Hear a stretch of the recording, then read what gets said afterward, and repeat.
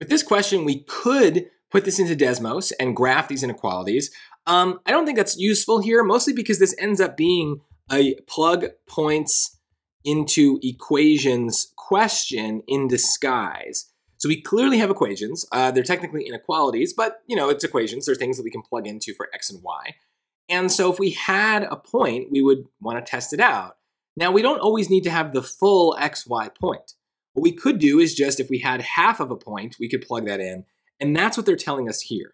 They're telling us half of the point is y as 53, right? So the x is unknown. They're going to ask us about the x. But the y, they're telling us just straight up is 53. And that's what makes this more about arithmetic to me than a system of inequalities, a system of equations. And normally with systems, I'm going to graph them. But here, they're kind of just telling me a number to plug in, so it's much easier um, so plugging it into the top equation doesn't really do anything. It just reminds us that yes, 53 is greater than 14, so fine. Uh, but plugging it into the second equation will let us solve for x, right? So uh, 4x plus 53 is less than 18. So it doesn't matter that it's an inequality um, because the, the rules of algebra are basically still the same, right? So we subtract 53 from both sides, and we will get that 4x is less than, let's do that in our calculator, 18 minus 53 is negative 35.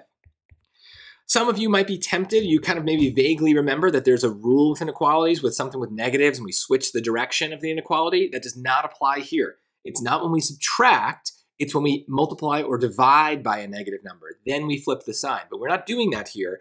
In fact, on this next step, we're gonna divide by a positive number so it's still division, but it has no impact on the inequality. We just kind of solve normally. So the 4's go away. x is less than, and then negative 35 divided by 4. It's not a nice number, but I'll put it here. Negative 8.75.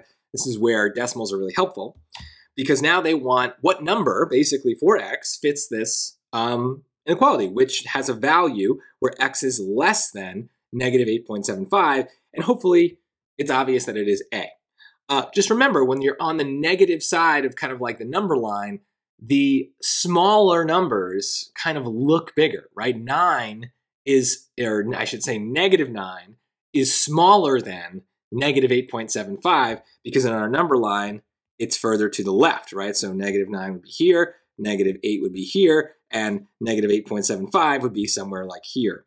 So the further to the left means smaller, means less than. So that might throw you off, but hopefully you would just see the other choices here and be like, oh no, that, that doesn't make sense. That negative five would be the answer and, and not five or nine. So hopefully that would save you. But uh, like I said at the beginning, this is really just about plugging in and solving. This is really not about systems. Uh, the SAT likes to do this. They like to take an easy concept and disguise it so that it looks way harder um, so just have a little bit more confidence in yourself to try things because, um, you know, a lot of times something that may look hard may actually be really, really easy once you just get started.